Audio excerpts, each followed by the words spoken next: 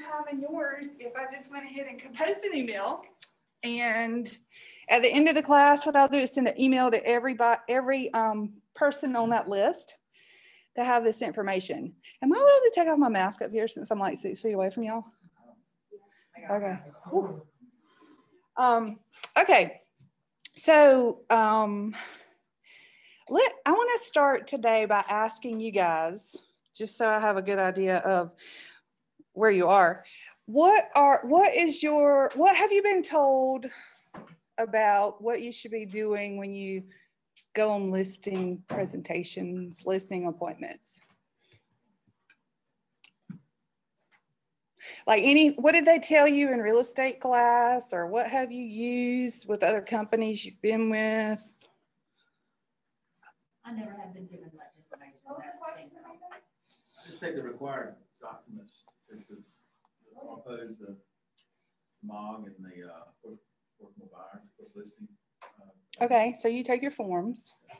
Okay. Anything else? I didn't hear the question. The, um, I asked, I just want to know where you guys are. So I asked, what in your experience have you been told to do at listing pres- presentations or listing appointments?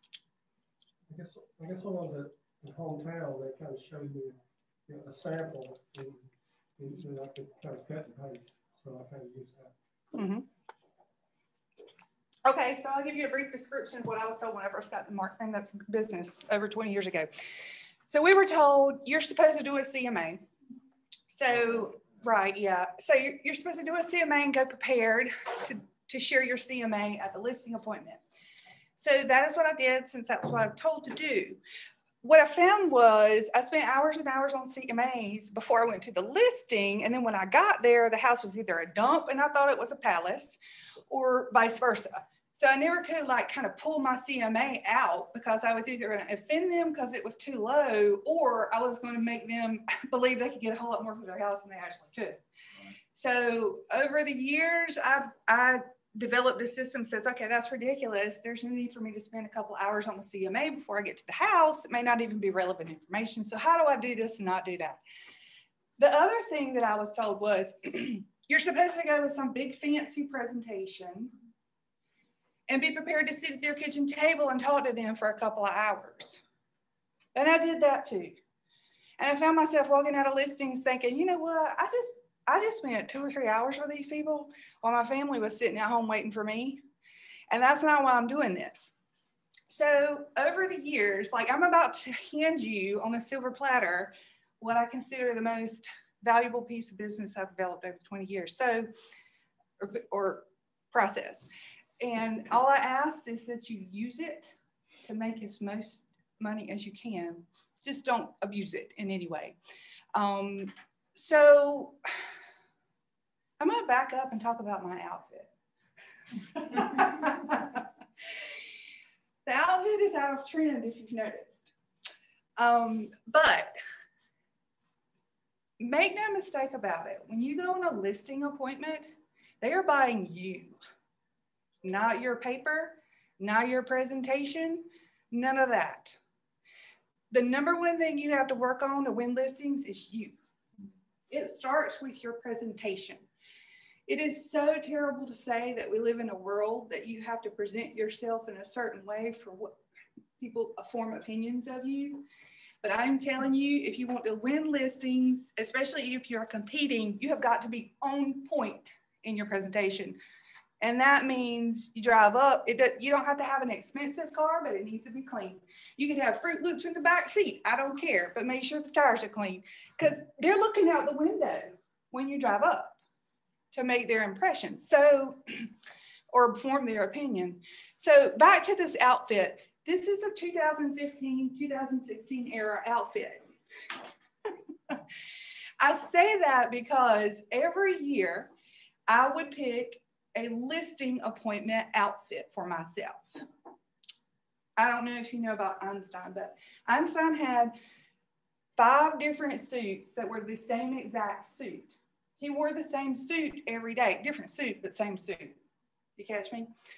His mentality was if I wear the same suit every single day, then I no longer have to think about or use the brain power for what I intend to wear that day.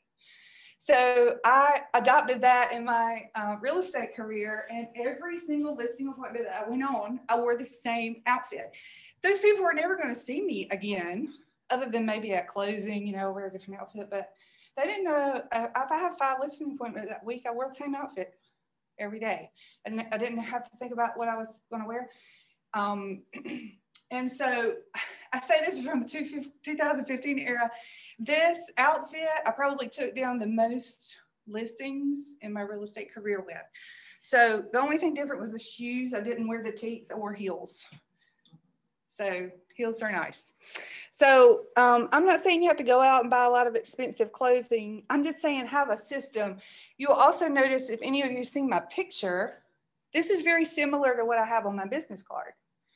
So when you develop and market yourself, you know, if you're going to try to wear, I always try to use the same color schemes, you know, it always appear in black and white. When I got to the property, they had already seen my marketing materials. They perhaps had seen a business card. So when I showed up, I felt like it was um, something that resonated with them, that they already knew me. It built, built trust, you know, kind of continued the marketing that I had already done. So um, let's get into this presentation. Just take notes as we go along. And then if you have questions as we move through, we'll stop for them. Um, so this initial call, this is going to take you from the start of my contact with the client all the way through the listing. So the initial call can come in many ways. I mean, you all are supposed to be making your phone calls now and you know, it may, may be something, this one piece of hair. um, where the person calls and says, Hey, Darren, you know, I got your email and we're thinking about selling the house and we wouldn't mind seeing what we could get for it. Would you know your next step to say? What would it sound like? Oh, I'm asking, oh, I'm sorry, I, but if I sent an email, I'd say, let me get together, let me talk to you about working with an agency, and then we can proceed. I can get you some, uh, I'll be doing CMA, I can talk to you about what your house could be worth, we're trying to think what would, in the marketplace, and then, uh, we go from there. Okay. And that's one thing too, that, that I've learned all, you know, using the word CMA, They don't know it. they don't know what it means. Right. Or some of them do, some of them don't. Yeah, and that, I'm so glad you said that, Joan, because that is the bulk of this presentation today. What I find is as agents, we get so caught up in our lingo, our language, our technology, that we, for, we forget and skip over a lot of the stuff that is very important to sellers um, by our lingos, our technologies, and what we think their expectations are. So when, when I show you um, the pre-listing package, we'll go over some of that. So anytime someone called me about listing a property, the number one thing in my mind was set the appointment. Set the appointment. When you talk to a person that's saying anything about selling a house, getting numbers, set the appointment. So the initial call comes in. you listen first. See that part says discussion about their needs. They're probably going to give you a laundry list of what they're thinking. So just listen intently. When they're done telling you all about their familial situation or why they're selling or why they're thinking about it, then you need to set the stage to receive, um, uh, for them to receive a pre-listing email, which I will give you. So that would sound something like this. Hey, Bob, what can I help you with today? Well, Amanda, you know, we're thinking about selling the house. Okay. Well, probably the first thing we need to do is figure out how much it is. So how about I come over, and take a look at the house? It'll only take me about 20 or 30 minutes. I won't have to sit in front of you for two hours. And following that, I'll get you a comparative market analysis or a market evaluation, and I'll email that out to you, and then we can discuss it. And they'll say, yeah, that sounds good. So at that point, if I'm sitting in front of my computer, I'll go ahead and pull up my calendar. And I give them two options. You'll see this later in the presentation. If you say, when can I come over? Does anybody know when they're going to tell you to come over? Never. Never? Girl. No, they're gonna say Saturday at three. What are you do, what are you doing at Saturday at three? That's right. We them options. That's right. So what I learned is you don't ever open up to your client for them to give you their schedule. You give them two slot, slots. Now, I adopted working Monday through Friday, nine to five, and I did have the nine to five Dolly Parton song for you guys, but we missed it this morning. Um, and that came from working every weekend and on a new construction site or an open house for like every weekend of an entire year, not going on any vacation. And I thought, this is not why I'm doing this. I am not going to spend every weekend of my life away from my family trying to support my family when I'm not even getting to be with them. You can do real estate nine to five. I'm not saying don't work on Saturday or Sunday, you know, if you can use your house or whatever, but give people two options. I think on this example in here, I've got I've got Monday at five and I've got Friday at three. Which is better for you? And then we'll pick one. It's amazing. so that keeps you out of just going every Saturday at three, burning up your time. So, okay, on this phone call, set the appointment. If you're in front of your computer, pull it up.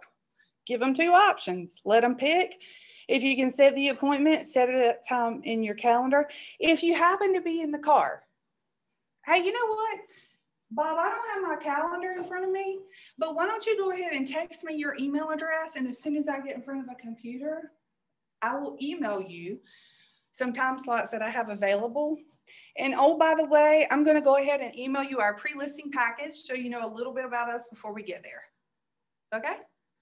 Okay, Amanda, that sounds great. So, what you've done in the initial contract is you set the stage to make the appointment. That's always the objective set the appointment. Doesn't matter if you think they're going to list, doesn't matter if they're going to do it a year from now. I don't care if they're going to list a year from now. Set the appointment and go. Because once they get the information from you, they may decide it's time to move up their plan, right? I mean, once you tell them, hey, you know, we can probably get 300,000 for this house now, but I can't assure you of that in six months from now. Wouldn't that kind of get things as right? Okay, so on the initial call, gosh, I should have brought my glasses. I'm so sorry, guys. Okay, set the stage for the appointment to take 20 minutes. That is going to save you so much time and you'll be able to spend it with your family instead of theirs. So, um, and then ask them to text you their email address. Any questions on that part? Set, set the appointment, set the expectation of what's going to happen. Okay, so here goes email number one. As soon as I get back to my office, this is what I email them. You can copy paste this. Just so you know, I'm systemizing everything in my business because that saves you lots of time.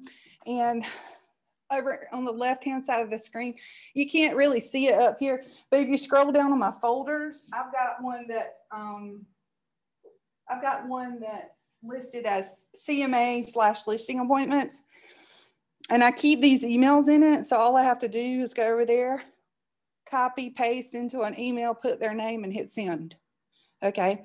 So um, email number one. Hey, Bob, I enjoyed so much speaking with you earlier. Per our conversation, I've attached our pre-listing package so you know a little about us um, and what to expect from our marketing plan.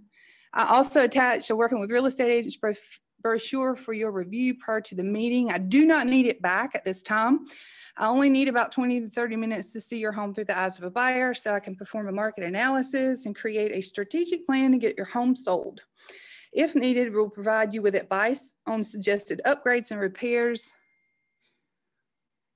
I'm not seeing it on here. Oh, it's because Shelby, let me shrink this for you guys. Repairs at our meeting.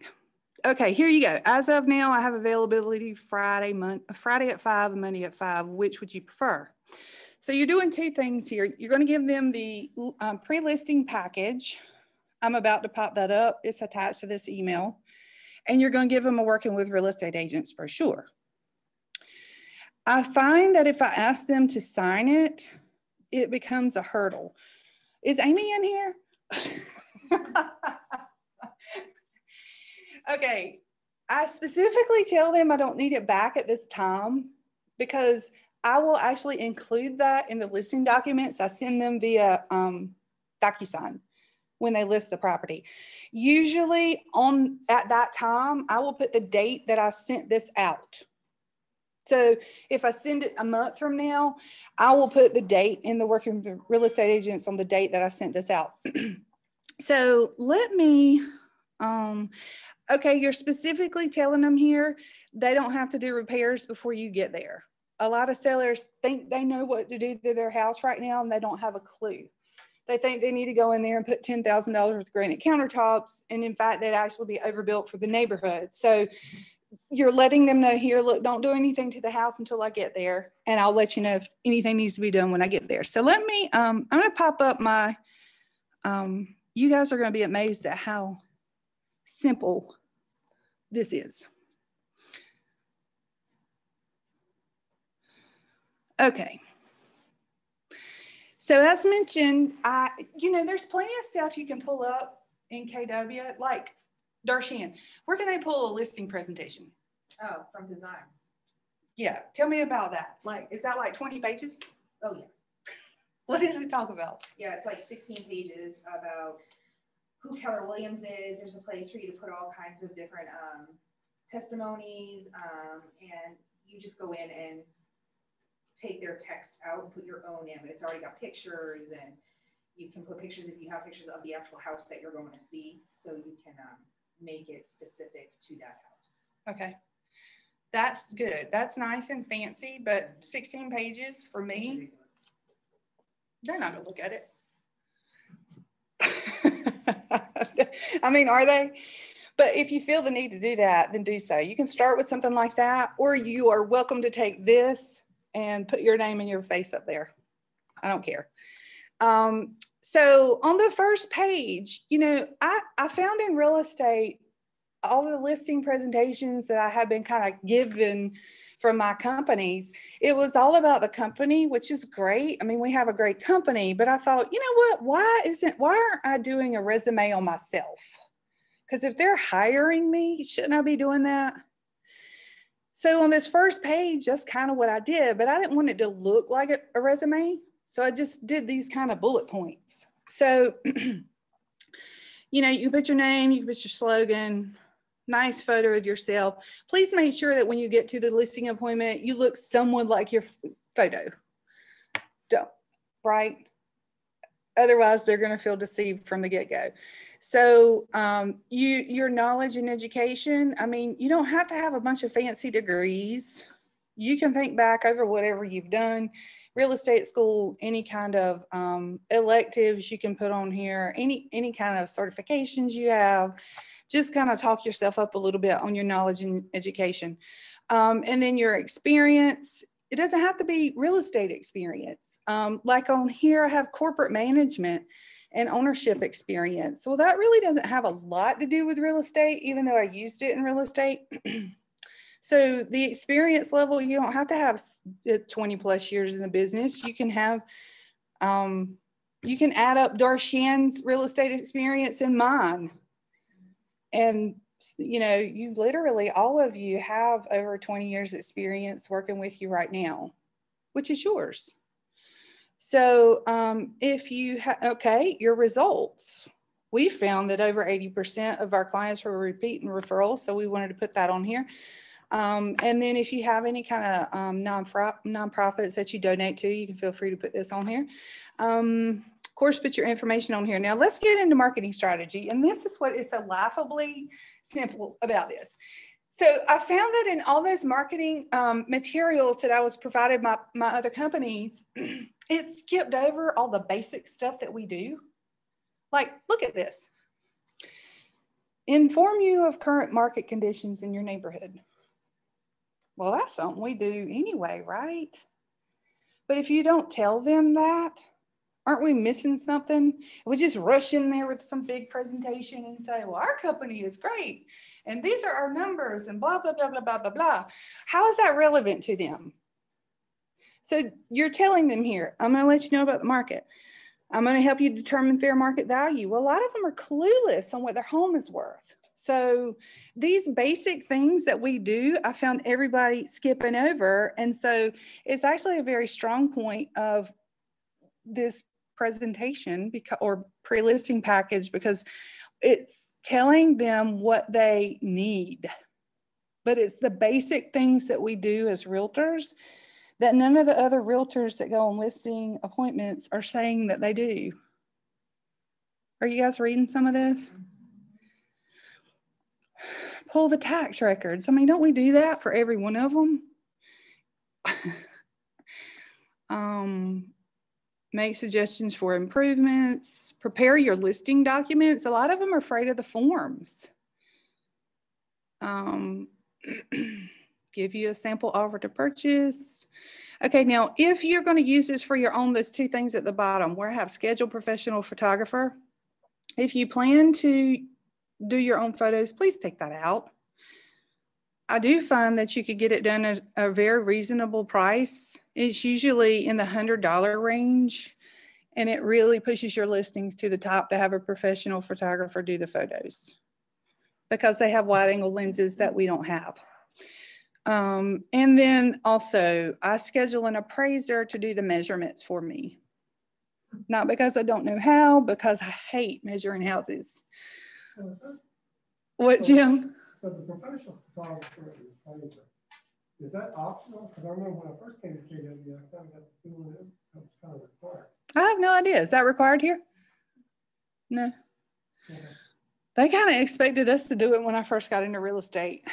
So, I mean, there's nothing like tromping around the house trying to figure out whether to take the staircase out or walking in a bunch of dog poo around corners or, you think one of the big things is, is that if you're gonna have somebody else measure your houses for you and they're not licensed, like an appraiser, you are held responsible for anything that they did wrong. So you're allowed a five percent error in the MLS, and if you are different from that, then it's your fault, not whoever you paid. But if you hire an appraiser, it's their license, and they're responsible for how they do it. Yeah, appraisers are con- considered to be um, kind of the highest standard of measurement above us.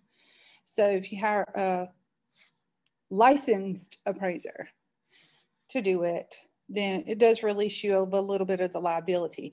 Now, there are companies out there that market that they will measure for you. And I encountered one of them last year. My appraiser that usually measures for us was on vacation or something. I need to get a listing in. well, I called them and they were actually not, they were not licensed appraisers. Um, yet they were touting themselves as being able to measure properties. And so you do have to make sure that whoever you're um, subcontracting has the right credentials in order for it to be okay with the real estate commission. Okay. Any questions on that? No. So one, one thing too, you back kind of the listing so some people I know love to see those presentations. Maybe the majority, of people don't, but there's some people, especially high-end houses, that they kind of expect that. I mean, Can you get- leave a gap in your presentation just in case somebody wants to see that? If you want to do that, by all means, do it. I will tell you, um, there's some method behind the madness of everything that I've done over the years. And I, I- in our program, we will do disc profiles coming up. Um, that's one thing that we need to do, um, for one of the activities in track. But basically, if you've never done a disc before, has everybody done a disc? Raise your hand. Okay, so there's a couple of people that have not. Uh, personality assessment, not a test. There basically are only four personality types that we're all comprised of in some way, shape, or form. We usually lead with one or two personality types.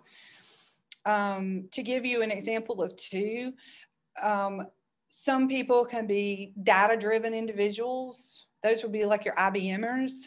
They only care about the numbers and the data. Other people are that you could go to them with all the data in the world and all they care about is your family and your kids and their kids. And so I'm not saying anything good or bad about one or the other. I'm just saying that when you you need to learn personality styles because when you go on a listing appointment, you will know immediately who that person is. Um, and when you figure that out, then you need to start speaking to that. If you go to, I'm telling you right now, hands down, if you get, does everybody know what I'm talking about when I say an IBMer? Okay, that's kind of um, lo- localized to this area. So you go to an IBMer's house and you pull out the stuff about a bunch of fuzzy feeling nonprofits and family and all of that stuff. They're going to be looking at you like, there ain't no way I'm getting this person to list my house. Right? You whip out a spreadsheet for them, they're going to be like, oh, I'm this person's listing my house. so if you back up to that first page, you will notice that Amanda has touched on every one of those personality styles. We have the stuff about the knowledge, education, experience for those IBMers. Then at the bottom, we got the warm, fuzzy feeling stuff about giving back to the church. And we do. There was one year that we gave 50% of our grace to the church, every commission, half it. I was on a 50 50 50 split with Jesus. so, um, this this is is touching on a lot of things that you don't realize and its simplicity is speaking to a lot of different people groups now what you'll also find is when you get there husband and wife usually going to be opposite personalities you probably experience that in your own home so you need to be prepared to speak to both of them in such a way that you're not giving all the attention to one personality style and not the other so, I mean, you have to be strategic when you do this and know who you're talking to and what information they want. Okay, so let's go to after listing. Um, of course, you're going to give them a listing package. You're going to put the for sale by sign up, the lockbox, you know, enter the stuff in MLS. Look how simple this stuff is, but all the other agents are skipping over the fact that they do these things. Now, at the bottom, um, you know how I have been coaching you guys to do your mail outs. Look at the bottom. Um, we are going to call any buyers um, that we're working with that may be interested in your home. Um, where is this part? There's something about our mail outs in here. Does anybody see it? Okay, there you go we send a monthly mail out to over 500 past clients and contacts that send us buyers and sellers regularly. We'll review price and condition based on buyer's agent feedback and market conditions, and we remind you to send referrals if possible because the other sellers have already been prompted to refer us clients that may help you. Does anybody say that when they go to a listing appointment? No. What are you telling them? That you have created a funnel they're your mail outs, Josh. of continuous buyers and sellers that are coming into your funnel that may or may not help them. And then what you're doing is forward thinking and preparing them to do the same to create lifelong referrals for you. Once they know and understand this is how you run your business, it plants a seed in them to say, you know what, Josh came and he said that he's mailed out to all those people for months and months and months, and those people might buy our house. And you know, when he sells ours, then we're already kind of prepared to send him some referrals that might help somebody else sell their house, right? So you're casting the professionalism that you actually are already doing, and you need to capitalize on that, but telling them this here. Um, you can read through these things. We don't have to go over them all here, but um, some of these things, like I said, they're so, so simple and things that um, other people like look at acceptance of offer. Make sure potential buyers are pre-qualified for a loan to purchase or verify that they have cash to purchase. Nobody's saying that when they go on listing appointments, but that speaks volumes to a seller is something that we do kind of in our sleep that we know we have to do, but this is just really putting on paper what we actually do, how we bring value. It doesn't have to be very fancy. It doesn't have to be a huge listing appointment. Now, Jim, if you want to do that 20 pager for that, I mean, I'm fine with that. Absolutely. But And I mean, if you email that out, I don't, I would have to think through their impression of that, how many of them would actually read through it. It might be a thing where you actually do have to sit at their table for a couple of hours and go over that with them and be really good at it. Um, okay, so let me flip back to the email, wherever it was. Okay, so we were on email number two. Anybody, any questions before we move forward? Nope, you guys are quiet today. I don't know if I'm just that boring or you just that quiet? Okay, good. All right, so no, email number three, as you will see, this is optional. This process, even though it's systemized, has always been organic for me. Yes, I have a column where I can copy paste this information, but it's organic in that I actually read through it before I send it. I will add things into, you know, hey, it was so nice to meet you and your dog Einstein. I mean, I add stuff like that um, when I copy paste into it. So um, email number three is optional. Um, and you will notice that it is post appointment. Oh no, we skipped email number two. Hey, you guys, wake up. email number two, optional before appointment. Okay, here's some gold how do you gather information about the house before you put it in the MLS? Does anybody have a system they use? Research. Right? Just ask them about. Yeah, sometimes, sometimes they ask. Is it break? Okay, how do you, so if you ask them, how are you logging that information? In your head? Property disclosure. Property disclosure, very good, Josh. Okay.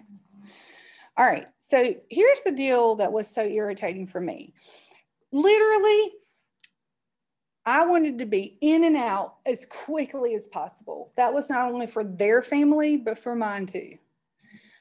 Um, I mean, I would show up, they'd have kids running around, and I was like, you know what? They don't even need to be here staring at me and then spending time with their kids. I need to spend time with mine. So let's make this as quick and painless as possible the biggest holdup for me was how do I find out all the information about this house to have all the marketing information that I need, have all the disclosure information that I need, have all of the HVA, HVAC, electrical, all that, blah, blah, blah, blah, blah stuff. I hated it.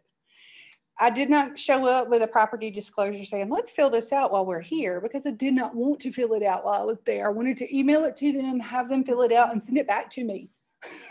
so most of the time they don't want you sit there and fill it out. Right. They don't want you in the, in their house any more than we want to be in their house all, uh, all that time. So I will tell you what I did. You, if you choose to do so, it is a golden system. I actually um, create. I, I had a Survey Monkey account. I created a Survey Monkey because those are easy to fill out, right? Anybody ever done a Survey Monkey? Um, I no longer have my SurveyMonkey account, but what I realized was last night when I put this email together, they still have the link active. So when I click on this link, I've been to come up now, it did last night. Um, please don't use this because I have no idea where it's going. I don't know why they left this link active because I don't even use it anymore. But look at all these questions. What's your name? What's your address? Um, the best email. You're going to need that when you enter um, the showing instructions set up. You're going to need their phone numbers when you do that. More than likely, you, already have all that information, but if you don't, this is a good way to grab it. um, where are you referred? If so, put it here. Um, why are you selling? What's your loan balance? Make sure you've sent them working with agents before you ask them that question. And as, as you will recall, that was on email number one, okay? Um, do you need to purchase the home as well? Hopefully you already know that, but if not, you might pick it up here. Um, it asks them, uh, what, what price do they want? Um, and then as you, as you get through the bottom here, you will see that I have actually implanted the questions that I'm going to need to input the MLS listing and fill out the property disclosure. Um, all this stuff. Do you have a fireplace? I mean, I don't ask that when I go on a listing presentation. Sometimes I see it, sometimes I don't. Sometimes I've looked at five houses in a week and I have no idea what that one looks like. I mean, so you can create your own survey monkey and it will give you a link that you can actually put here. See, I have it here. Um, and to the side, Josh, there you go. If you don't want to do a survey monkey to gather the information, then you can attach the um, property disclosure here as a PDF and ask them to fill it out and get it back to you. So, um, how many questions was that survey that you showed? Thirty, oh, wow, fifty-two. yeah. And, I mean, that's just stuff they, that we need to know. Look at number 52. How would you like your home to be shown? You want it go as show? You want it courtesy call? You want an appointment required? I don't want to have that conversation a hundred times in a year. I mean, I mean, you know, if you have it here, you don't really have to um, have the conversation a hundred times because it's here. And then I always love number 53. We want their feedback on what we could have done better. So you use this religiously and, and Yeah, this will show them a level of professionalism that every other agent they're interviewing misses.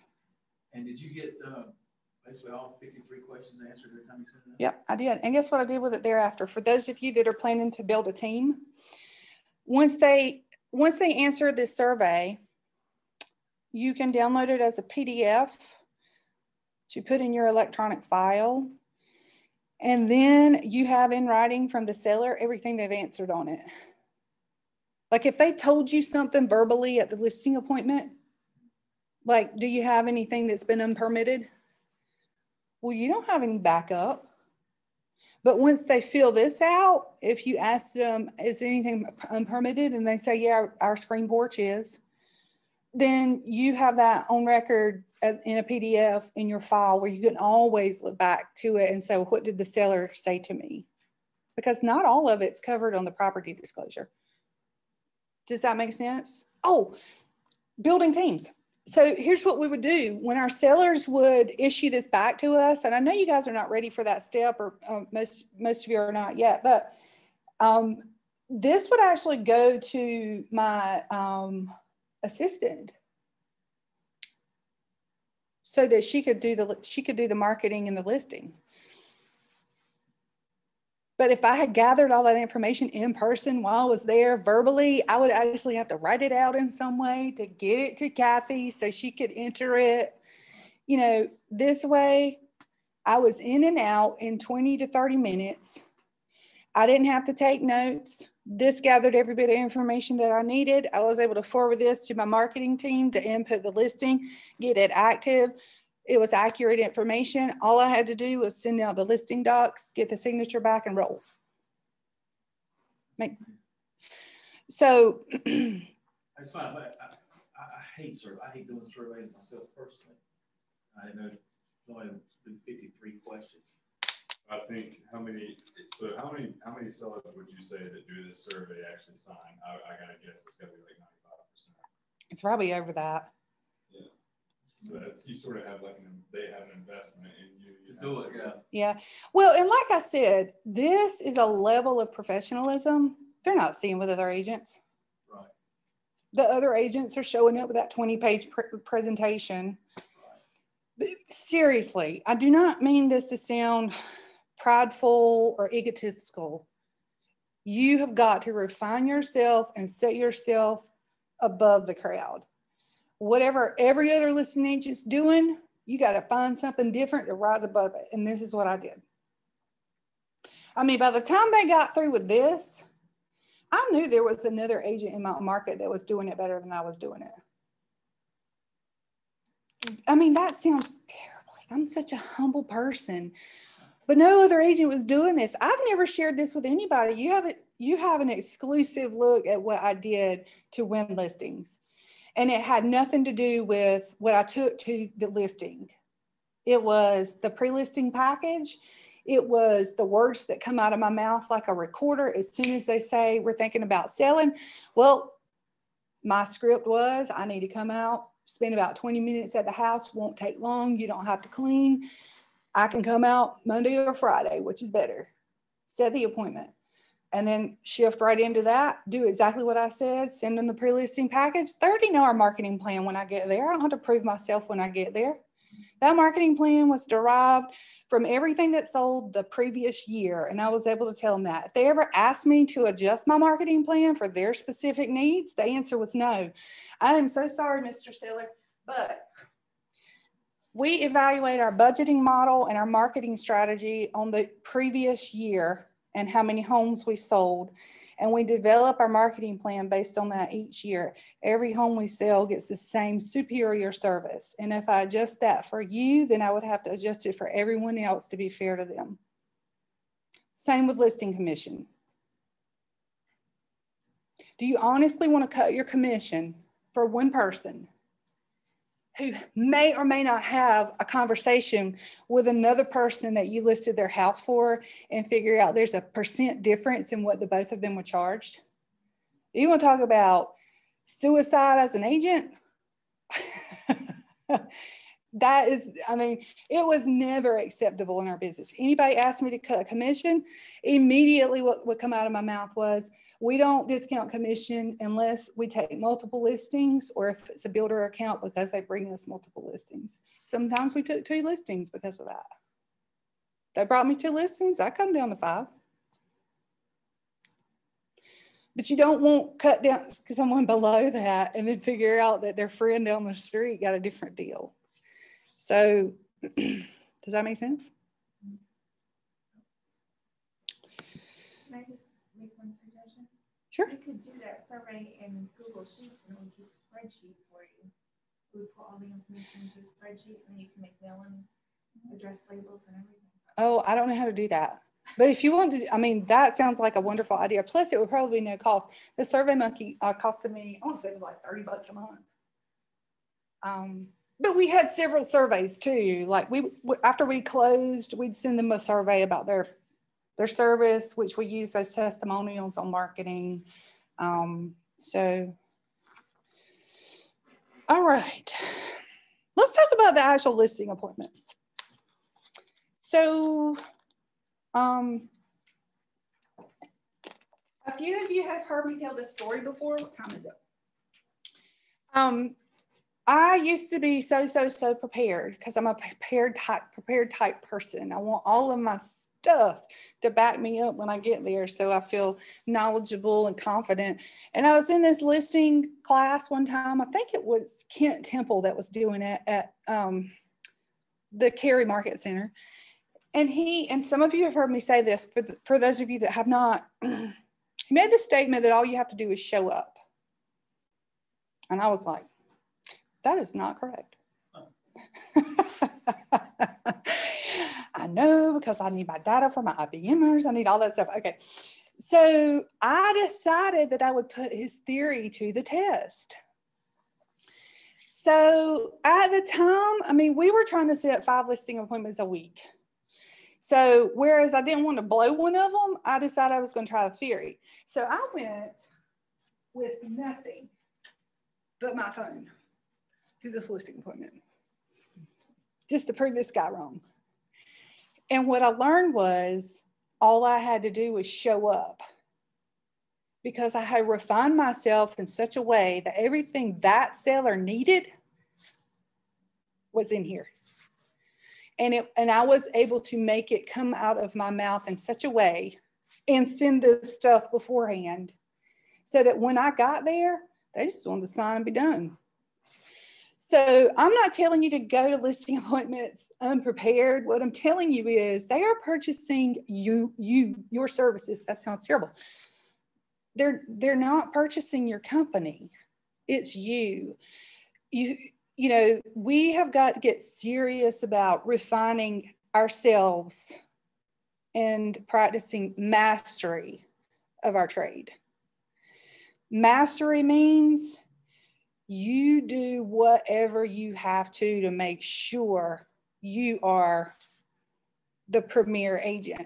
I don't care how many classes you got to go to, I don't know how many scripts you got to learn, I don't know how many data you need to memorize in your head, but it needs to be able to pop off out of you into, into them while you're there. And then you can just show up and get the listing. So, um, oh, listings. Okay, so here's what I would do when I went to listings. I used to go with that big folder, you know, and all my stuff. But as I grew, and for those of you that don't know how to, if you go to the Facebook page, I have step-by-step instructions on everything we did before a listing. And it was comprised of, yes, you need to pull the tax record.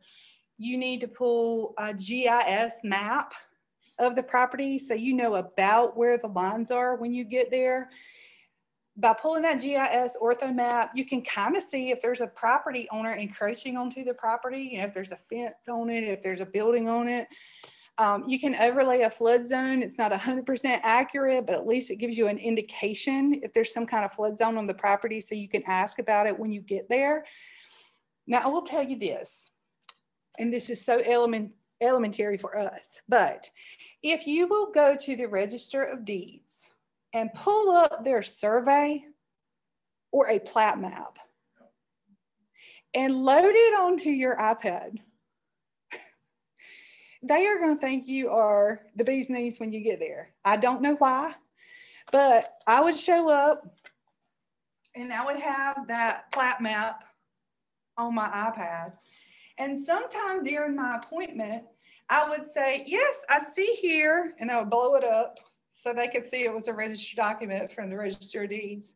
I see here that you've got a drainage easement on the back, you know, or I see here that there's, you know, a fence encroachment, whatever you see. Or I see here that your lot looks pretty clean. I mean, there's nothing that is a red flag here.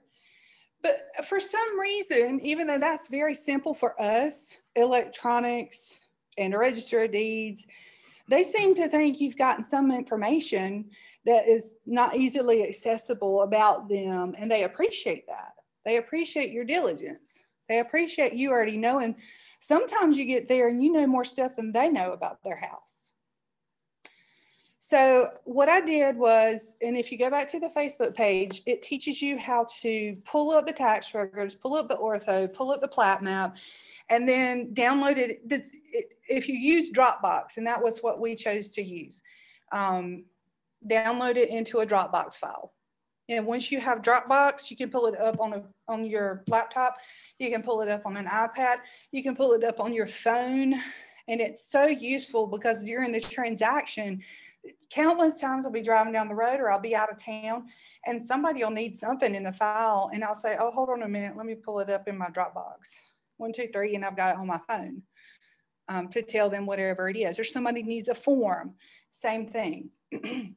um, so that I would highly suggest going to um, that Facebook page and, and doing those steps to set up your Dropbox, get it integrated across all of your devices, learn how, your filing system, um, on how you want to set, set up your files. I mean, for us, it was the year in which we were working. So it would be like 2021 and then it would be the street address, Tally Ho 233. So then if I search my Dropbox, then I would just go to the 2021 files and figure it out. Does that make sense? Okay. Um, so showing up for your listing appointment real quick before we move forward, I would show up, no files, no nothing. This is how I would show up. I have my phone, I have my iPad. This is so terrible, but I would always make sure the Apple was out. And I would have a business card. You will notice that this has pockets. I would have my business card in this pocket. I would have my car keys in this one. That makes me light. I don't have to take in a bunch of stuff. I don't have to remember about forgetting something in the house. I look ready to go when I get there. And if I need something, it's in my iPad. I had a little um, styler that I took note with, notes with if I had to while I was there.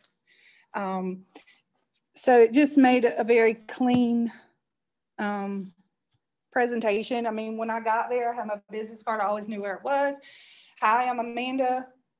You know, tells them, validates who you are if they don't know already.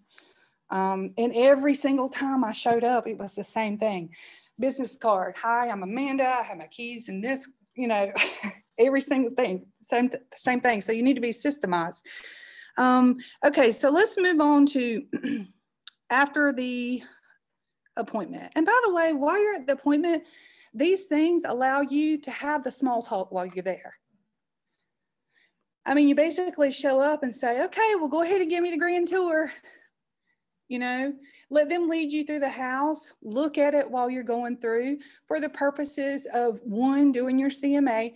Number two, if you see anything that might red flag a disclosure, go ahead and ask them about it. Unpermitted square footage is the most common. I mean, if I see a porch that looks like it used to be a deck and now it's a screen porch, I'll just say, oh, by the way, did you happen to permit your porch? And they'll usually say, I don't know, or no. And that frightens them. So what I'm always prepared to say is, you know what, it's not a problem. It's not gonna, it's not gonna determine um, what we get in offers on your home. But my job is to help you make the correct disclosures so that when you walk away from the closing table with your check, I don't want anybody ever coming back trying to get any of it. So what I find is if we make those disclosures on the property disclosure now, it won't prevent us from getting offers, nor will it affect the value of them. However, if we don't do a good job telling them that now, then it could potentially come up during the transaction or post transaction, and it actually could end up hurting us. And at that point, you kind of see this from the sellers, and they start telling you everything that could potentially be a disclosure. And then it's your job to actually make notes on the property disclosure. Any questions on that? If it's under thirty thousand, then we can have to get a permit, right? You know what? I had a contractor tell me that last year. But try explaining that to the real estate commission. What you will find at the real estate commission is a consumer protection agency. They have no interest whatsoever in protecting us. If a consumer can claim that they were misre- misrepresented in any way, shape, or form, and it's caused them harm, doesn't matter if it costs thirty thousand or not. That's always been my approach. Potentially, you could get off the hook, but you would actually have to go through court to figure it out. You don't want to ever, you know what I mean? Um, but and and especially like you know you could actually add a bedroom for under 30 and say well you know i didn't have to get it permitted because it was under 30 but then when it comes right down to it you've turned a three bedroom home into a four bedroom home and it's only a three bedroom septic That's a different story. yeah so yeah, if if you know the regulation and you feel comfortable with it, then go for it. But there's a whole plethora of other nightmares that could come from from it. But in the very least, even if they did not get it permitted and it was under 30,000, go ahead and make the representation. I mean, we always say, um, you know, the addition on the back unpermitted or either um, unknown if it's unpermitted, unknown if it's permitted, if it was done by a previous owner. Um, and then you will have to make the determination on the square footage of the house. Because technically, if it's not permitted, um, or if it's not heated and cooled, or if it doesn't meet the building requirements of bedrooms, you know, if it doesn't have an egress and a closet, da da da da da da, that's so many things. Um, but you can't advertise it as heated square footage if it's not permitted. Not to say that we haven't before. There have been some situations where it would have been so detrimental to the house and the search criteria um, that if we had not included it as square footage, um, it, it- the house just would not have a- appeared in any of the searches. And therefore, we made the choice to advertise it, but fully disclose that it was unpermitted. Um, so kind of a case by case, I guess. All right, so email number three, post appointment. Um, market study on your neighborhood. Okay, so when you get to the point where you're going on a lot of listing appointments every week, what you're going to find is difficulty in actually doing the the market analysis. If you do a really good market analysis, depending on the property, if it's a cookie cutter house, I could usually do it, turn it, burn it in under 30 minutes. If it was a residential property that had 10 acres and, you know, was in Timbuktu, it would usually take me an hour. So what I found myself running into was I hated doing CMAs. I love the listing appointments, but I hated doing the CMAs and I always procrastinated on doing them because my schedule got so hectic. so this optional email number three is something I would send the sellers to buy me time. If I knew that I wanted to get them some information the day of or the day after I went to the appointment, but it was going to take me a day or two to get them their CMA, I would send them this. That's why it's optional. Now, I will tell you, I've got to give credit to Bold. Um, for those of you that have never taken Bold, I highly suggest it. I suggest taking it repeatedly. Um, when I was sitting in Bold, they actually gave us a listing presentation. It was designed to go to the property and sit there for longer than I wanted to sit there. So when I took Bold, I, I took Diana's information. It was Diana Kokoska who was running Bold at the time. And I said, you know, how do I do this? And not not have to go sit there for an hour or two at their house. And a lot of these emails are exactly that. It's verbiage that I took from Bold that I chose to display in an email instead of a face-to-face. This is one of them. Um, and, and so is the next. Um, uh, so I basically just sent them the stats on their neighborhood, but it was different stats than most people send. Most people are going to send what's sold in your neighborhood, right? Well, look at this. I'm telling them how many homes are on the market around them or in their neighborhood. How many homes have sold in the past 12 months? How many homes are selling per month? And then the supply of homes in the neighborhood. This is also something that we capitalized on heavily in our listings um, what I found was no agents in the market were doing absorption studies on their listings. All they were doing was pulling sold comps and giving them the CMA with the sold comps. So let me ask you something. You go and you pull your comps for six months back. You got three of them. Those three homes sold two months ago, four months ago, six months ago, and that's what you've pulled your numbers off of. I'm going to ask you right now if a house sold six months ago for $200,000, what would it sell for tomorrow? 235. Thank you, Josh. 240. Thank you, Josh. So if you've presented them with the traditional CMA of three closed properties, have you done them justice? No, they need another competition. that's exactly right. And that's why you should always inform them not only of what's active that buyers have to choose from, but you need to run an absorption study for them. that sounds difficult. I didn't plan on going over it today. But basically, to make it very simple, if you draw a five mile circle around the house in MLS and you pull active pending and sold properties over the last six months in about the price range that they're going to be selling in. Let's say it's 250 to 275. Pull active, pending, and sold. Once you pull that list, you can do a CMA summary. You can sort the list where it's active listings at the top. Well, actually, the CMA summary does that to you boom, in an instant, it'll give you how many actives there are, how many pendings there are, and how many closed there are. Now, some of you may want to take notes on this. The closed units is where you start with your absorption study. If you see in that five mile radius that 12 properties have sold in the past six months, how many are selling per month?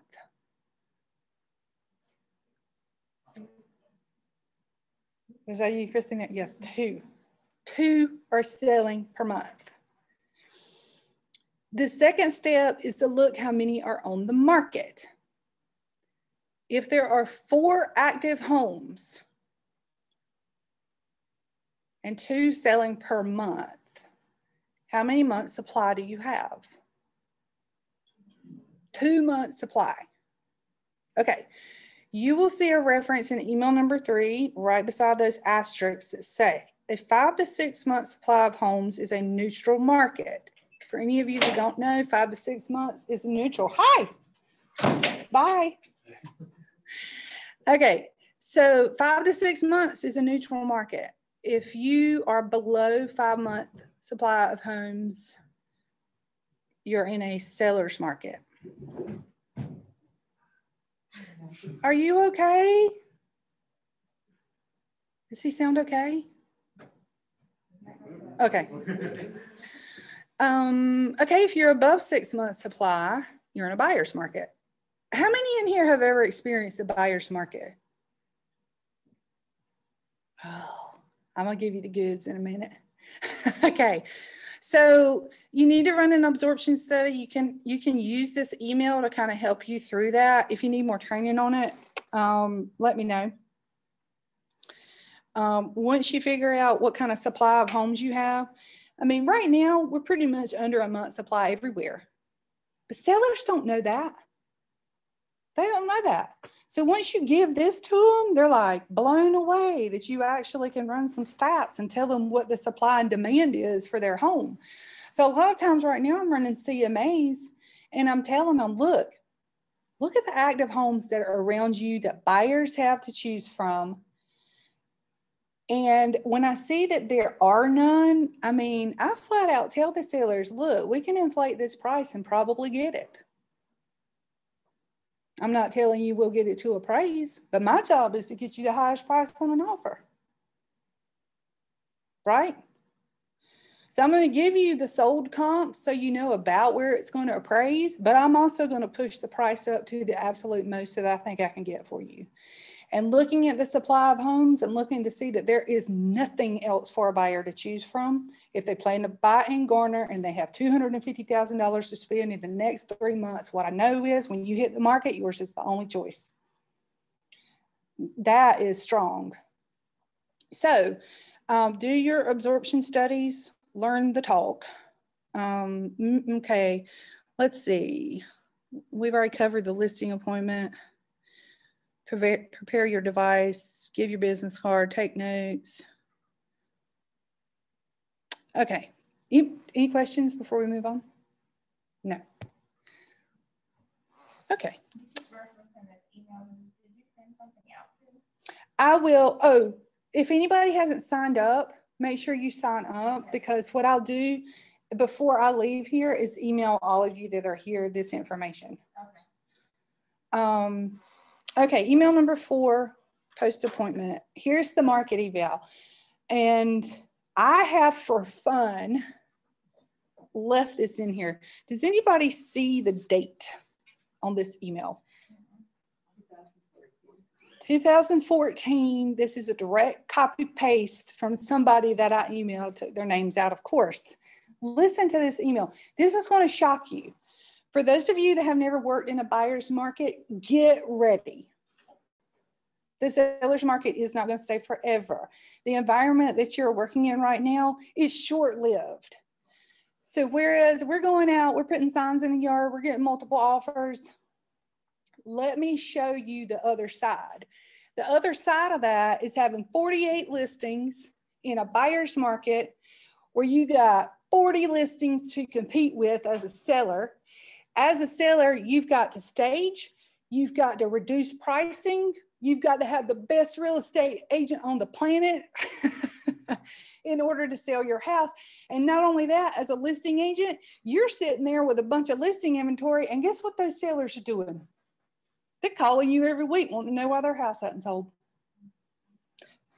That's tough. So listen to this email. Hello again. In evaluating your home, we looked at a five mile radius around you. Today, there are 14 homes on the market in your price range. Last week, zero sold. Can anybody imagine that? This happened. It's true. that means 14 didn't sell and are still on the market. Our absorption study revealed only about a third of a home selling per month. So less than one home selling per month. That means we have over a 12 month supply of homes to compete with within five miles of yours. And I'm gonna get real. I've run absorption studies for years and years and years and years in my business. I ran them all the way through the recession and before. There were some homeowners that I had to tell that we had a 24 month supply of homes. Two years worth of inventory they had to compete against. And that's when you have to start talking to a lot of them about bringing $20,000 checks to closing to get rid of their mortgage. That's a very different environment than we're in right now. And that's why Gary Keller gave a shift. So if you've not read it, start reading it now. Um, let's see. Five miles. Okay, I've got your little note here because I'm going to supply you with the email at the bottom for the seller's market, the one that you can do right now. But just for fun, I left this one in so that, you know, a few years from now, whenever the shift happens, could be a few months, you can come back and say, oh, Amanda gave me that. And now I can use this. So once again, our goal is to provide enough information for you to price your property in order to win the competition you're entering against the other homes available to buyers. In the link below, I've included some of those homes buyers will have to choose from, as well as some that have already sold. Based on looking through the interior pictures, comparing square footage, acreage, additional features, et cetera, et cetera, you should, now this is key. Buyers should respond with offers between X amount and X amount. Always give a range. You should never go to a seller and tell them their house is worth an exact amount. Because guess what ha happens when you get offers that are not that exact amount? Give them a range. And the sentence before that is key. Buyers should respond with offers. Notice I didn't say the market value of your home is between here and here. I said buyers should respond with offers between here and here. What's the difference?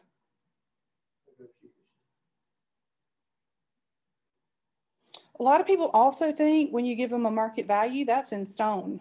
But it's not. I mean, Darcy can tell you, you got you can have five different appraisers go out look at the same house, they'll all come up with a different number. Yeah and it can be thousands apart. So what this is, you're giving them information, but you're not nailing yourself down to not the accuracy of the information, but the validity of the information. So you give them a range, and I always explain to them. What I usually do in this market is I'll give them an average range, and then I will give them an inflated range. And I will explain to them, okay, here's the price range.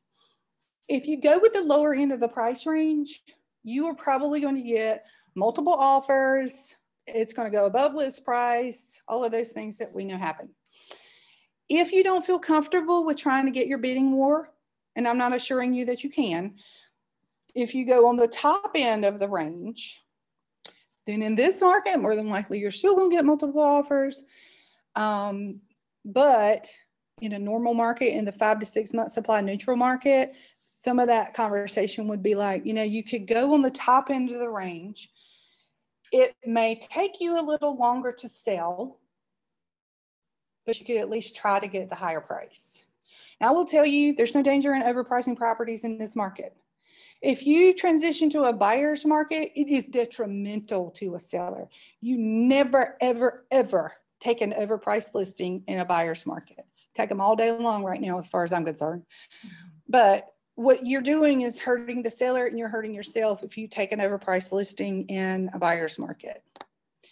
And as we get closer to that, if you guys are still with me, then we'll we'll transition to that. Okay.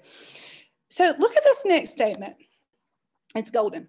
Touch base with me when you've had an opportunity to review and discuss strategically pricing to win the competition in the shortest amount of time for the most amount of money. That came straight from Dianna Kokoszka in bold. What does that say to the seller? That's my objective, seller. Sell it the quickest, get the most. right? Okay, so now this I added, and this is beautiful, beautiful, beautiful, beautiful. Or if you know the price you'd like to start marketing at, please email or call me back and we'll send out your listing documents. That is bold, didn't come from bold. That's bold on Amanda's part. Because guess what Amanda learned? 50% of the people will email you back, say, put us on the market at 300. And guess what I have to do from then on? Send them a listing package and get started. I don't have to have any more discussions, none of that. We don't have to wait around for a couple of months. At least give them the opportunity to say, hey, we know what we want, let's get started. Most agents won't won't do that. They won't be that direct. They'll want to have a conversation and well, if they don't need a conversation, give them the option not to have one and just get rolling. Okay. So below, see where it says seller's market alternate paragraph for this email? Here's the one you would use in this market. Um, today, there are only two, two homes on the market in your price range. Absorption study revealed about 10 homes selling per month. That means we have less than a one month supply of homes to compete with within five miles of yours. This means you're still in a seller's market. Okay, that's the one you use for this market.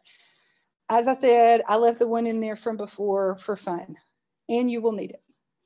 All right, this working with real estate agents brochure, let me tell you this, this is important. On that first email, when I send out, I've attached a working with agents brochure for your review. I don't need it signed back at this time, blah, blah, blah, blah, blah. I don't attach the one that you have in DocuSign. Does anybody know the psychology behind this? Looks like a brochure here, looks like a contract there. That's it, Josh. You can download this from Real Estate Commission website. So, and, and that is exactly the key. It's non-offensive in that you're sending them disclosures they need to know, but you're not asking them to sign it at this time. It looks so much more professional and it does not look like a contract or a listing agreement that you're asking them to sign before you get them all this information. And somewhere in this email series, and we skipped over it, but there is a part that says, we um, we do all of our documents at a later date electronically. So they know when I go to the listing appointment, they're not going to have to sign anything. That is, that's tremendous value. I mean, some sellers have anxiety over that. Oh, this listing appointment, this listing is coming over here. We got to sign the documents. She's probably going to want us to sign them, but we don't know if we're going to list with her yet. You know,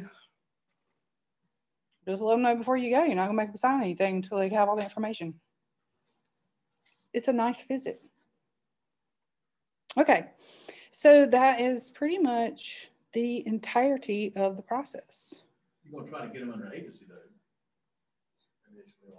Well, your agency is your listing agreement. So why would you exclusive right to sell, would you want to get that? At least discuss it, I mean. I don't. You, you can. Um, I used to do that. I used to do exactly what you said. I would take my listing forms. I would go over every item sitting at their kitchen table. But I was once sitting in a seminar and the person that was conducting it says, why would you go over every item in a listing agreement? You're not an attorney.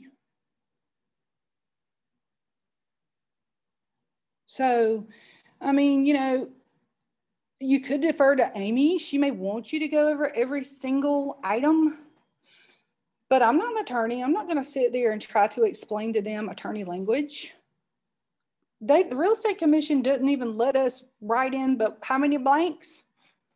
Because they know we're not capable. so the listing forms became what used to be the brunt of my listing appointment to an afterthought. I send it to them in DocuSign. I fill in all the blanks. I text them or call them and say, hey, I've issued your listing package. Please review it. Let me know if you have any questions. Sign it and send it back. Now that I'm not telling you that's the 100% best way or right way to do it. I just know that when that person in that seminar said to me one day, why are you going over every item in the listing agreement? You're not an attorney. I mean, and I thought, well, that's a true statement.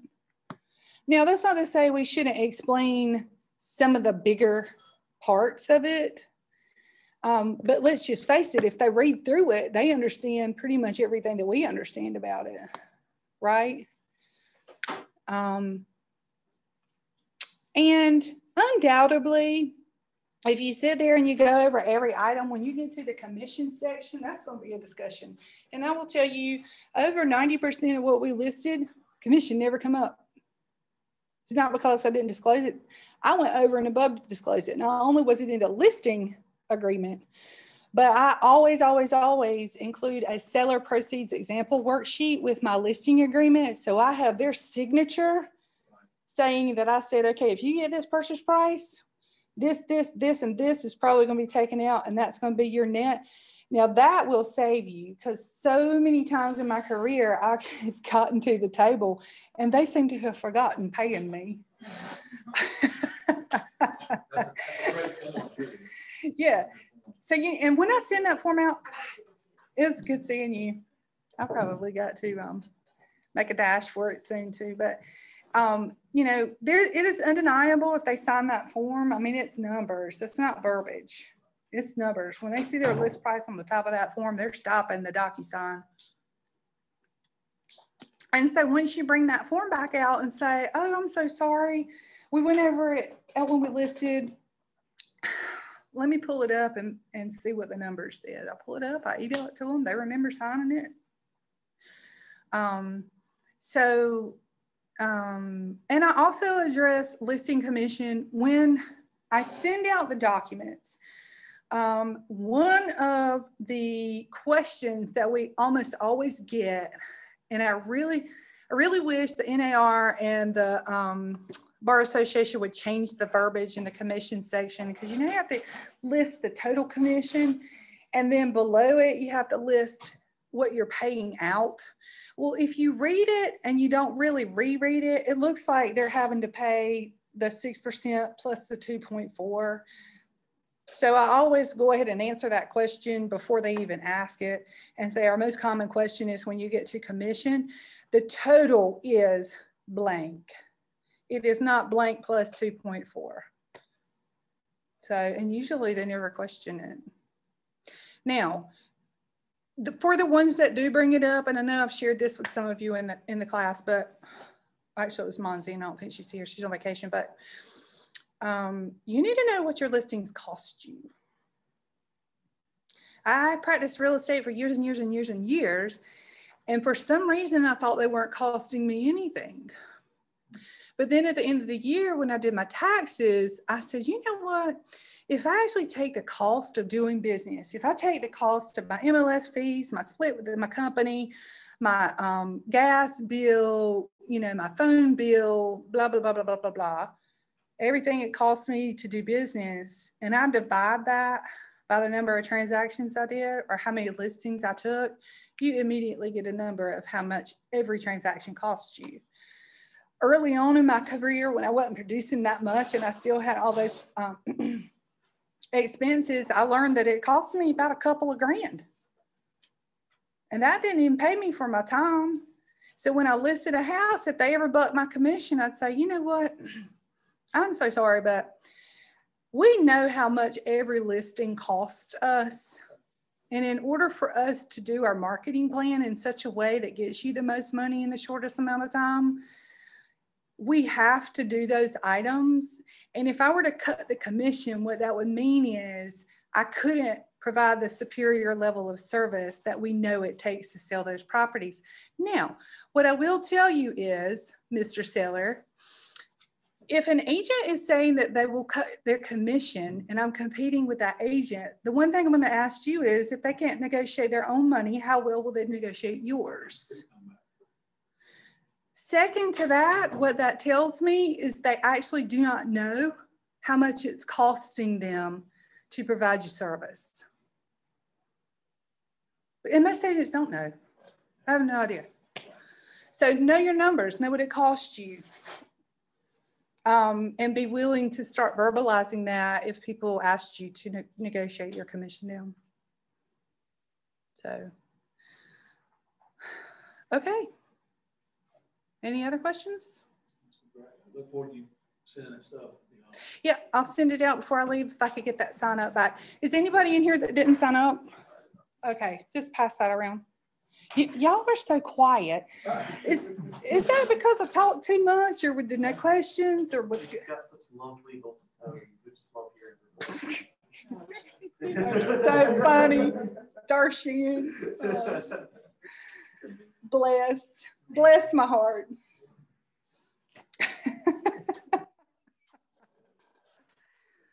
Bless my heart.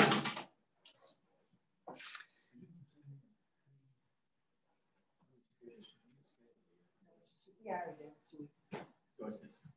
No, that's not. You haven't. You would. How are you? Good, you are. So you will call me, give me. Yeah, doing all right. Understand. So the Yeah, absorption study, yeah. We're I'm talking about- I didn't hear you, I'm the sorry. absorption study Yeah, that you were talking about doing in MLS, in the Mhm. So it's not called an absorption study in MLS. No. I don't really like MLS to be, to take to as far as like some of the, it's, it, I think still it's runs on Windows ninety-eight. Yeah, you, it, it it feels. It's, it's, I, I, I, I can't get with it, like CMAs, I'm using,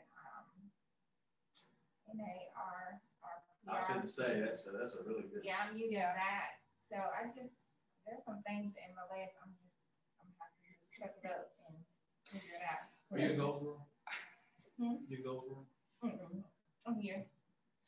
So, okay, so to answer your question, these things are not provided in MLS. These are things that I just learned over the years that I needed, the absorption study.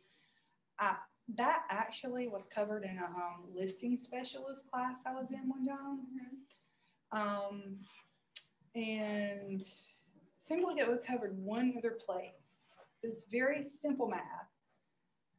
Just figure out how many are active, how many have sold per month. And I usually go back six month time period.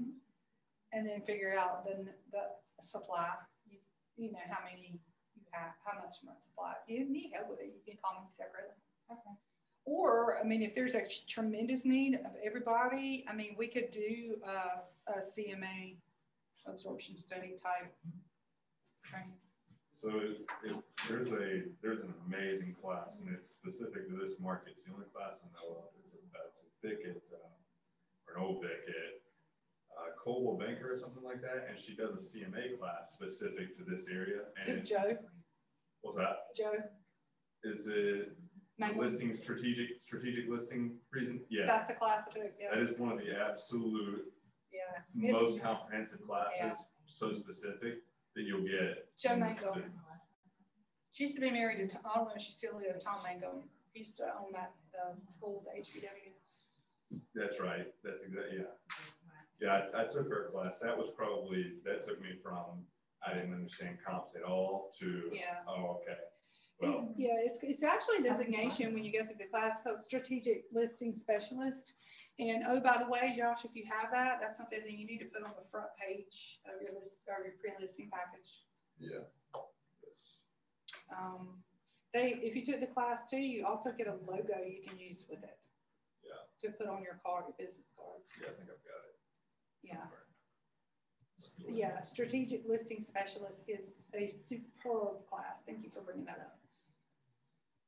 And it's, it's just, there's no, I, I, that's the first one I've ever seen specific to an area, even though she doesn't, she covers it generally, she really hones in a lot on this area, especially, you know, during the, the heat of like the seller's market, so you kind of can carry it over to now.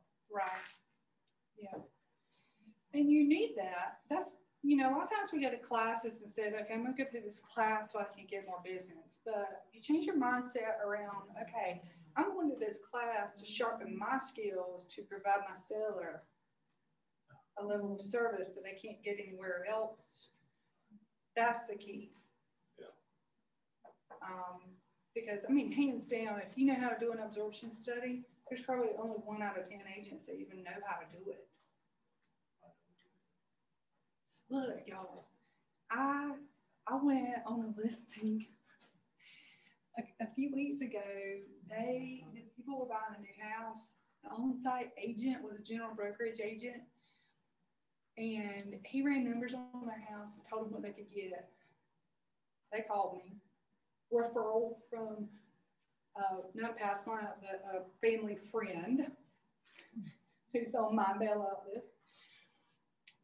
And they, they said, you know what, who, JK, who can we know? Who can we trust and know to lead us right? He said, well, you need to call Amanda. That's what you're trying to build, is a reputation of that. They called me. Um, I ran numbers. We got them $50,000 over what the other agent told them they could get. Simply because when I looked at the absorption, I learned there was no, no other option, none. And it wasn't that there weren't comps to support the value, it's because the other agent was only looking in neighborhood. Well, I am so sorry, Mr. Appraiser, but just because two homes haven't sold in this neighborhood over the last 12 months doesn't mean I'm not going to try to get the most from my seller. I don't have to use comps in the neighborhood. I use this. My job is to give them the highest price, not appraise it. So then it's the appraiser's burden to tell them that their house is worth $50,000 less and let those sellers and that lender eat him alive. And they're not going to do that. They're going to find comps to support because there are comps to support. So um, the absorption study is more valuable in my eyes than the sold comps. So, Especially with a, like very rapidly changing market, it's, it's, that's much, it's much more accurate than just using six to twelve months of comps. right, because when you're in an upward moving market, as we said a while ago, if you're pulling comps that were even thir- closed 30 days ago, the market has already surpassed that. You're telling a seller they're worth what this house sold for 30 days ago, they might be missing out on five or 10 grand already if you're in an upward moving market. Now, here's the secret too. When we experience the shift, you will, as agents, have to shift your conversation and get ahead of the eight ball on advising sellers. When we experience a shift and our market goes from moving up to moving down, then are you going to pull comps from right here? If you pull comps from right here when we're in a downward moving market, you're advising this seller they can get more for their house than they're ever going to get. And guess who's going to look like they don't know what they're doing? You. Because the market has already drifted past what you get it for, and they're complaining to you. Josh, why'd you tell me I could get that for my house? Nobody's paying that for my house. Why aren't you selling it? You're not doing your job. So when you shift, you have to be prepared as agents to, explain the same conversation. I mean, I've been on listing appointment after listing appointment. So we're in an upward moving market. You list here, you list there. We're in a downward moving market. you know, do the visual for them. But when we're in a downward shift, you need to be saying, okay, Mr. and Mrs. Seller, I pulled the comps on your house and you're priced out right here. But if you want to win the competition against all the other sellers right now, you're actually going to have to be a little bit more competitive than right here. My suggestion is to list it right about here so that you're more competitive against all the other sellers on the market. You get the offer first, you're overdone and closed with before they even realize what's going on. And so that, once again, is where you use your absorption study because if you pull that absorption study and you see that we're about to exceed a six month supply of homes, you know as an agent, things are going down. Mm-hmm. If you're advising sellers, you got six months supply of inventory, you need to be letting them know, hey, Mr. and Mrs. Seller, a year ago, we were pulling absorption studies. We were at less than a month supply of houses. People were writing multiple offers. They were paying over list price. But I got to tell you, in running my absorption studies, there's six months supply of homes right now. And if you're not more competitive in your price and your condition than all those other sellers, we're going to be get left, left behind. We need to get ahead of the curve. You need a list here so we can get your contract and move on. So we don't get stale dated. Make sense? Okay. All right. Where Well- that sign sheet? I just need to- Uh, It's back here now. Oh, perfect. You see? So, yeah, I mean, he's good. but he- I'm so glad you enjoyed it. And thank you for coming today. High dose steroids. guys, Yes. we'll give you a quick update. Yeah, no, definitely. I was actually, I was, I I saw you here.